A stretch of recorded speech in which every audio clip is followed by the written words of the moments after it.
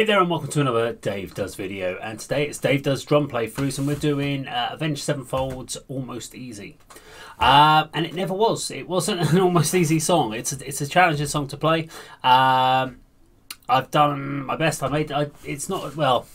I could have done more, uh, but I'm unfortunately limited with the amount of time I actually have to practice and kind of run through it. So uh, I've left it in warts and all. There are definitely some mistakes. I made a mistake coming out the uh, chorus into the second verse, and uh, yes, you I could kind of do some edits and cuts and make it sound even better. But I'm, what I wasn't trying to do was do a try to play the song 100%. I was just doing my best.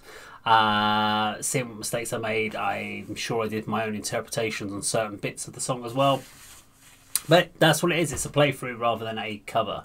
Uh, so uh, I hope the Rev forgives me um, uh, for it. But he's an amazing drummer, or was an amazing drummer, and his legacy lives on uh, through what, many of the songs that he's specifically written and uh, through his fans. Uh, so yeah, enjoy the video. Now, if you want to, just please do subscribe, click the bell icon, like, share, leave the comments down below. Uh, please support for all the different ways that I normally do on the channel, the Patreons, etc. It does mean a lot.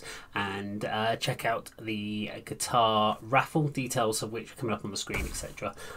thank you very much for watching and enjoy the video.